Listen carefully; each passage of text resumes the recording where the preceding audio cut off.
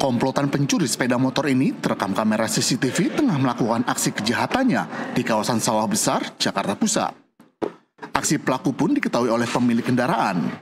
Warga yang mengetahui pencurian ini pun langsung mengejar para pelaku. Dari tiga pelaku, satu di antaranya berhasil ditangkap oleh warga. Pelaku yang berhasil ditangkap warga pun kini langsung dibawa ke kantor polisi terdekat. Dari tangan pelaku, warga temukan barang bukti berupa kunci letter T.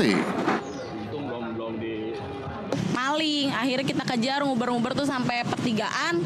Ketangkap, alhamdulillahnya ketangkep, motornya juga aman walaupun udah jebol ya. Tapi ya langsung dibawa tuh eh, korbannya sama si pelakunya dibawa ke polsek. Semua sih udah ditindak sama Pak Polsek gitu. Itu sekitar jam berapa kejadian? Itu sekitar jam 4, ya hampir mendekati subuh. Upaya pencurian sepeda motor juga terjadi di Surabaya, Jawa Timur.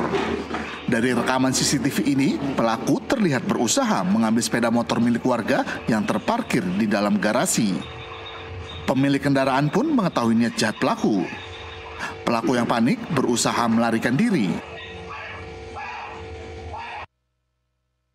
Sementara itu, di Alam Barajo Kota Jambi, seorang pencuri sepeda motor berhasil mengambil motor milik warga yang terparkir di depan rumah kontrakan.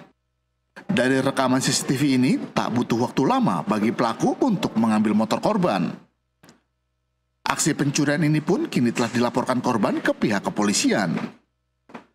Dari Jambi, Surabaya, dan Jakarta, tim liputan NTV melaporkan.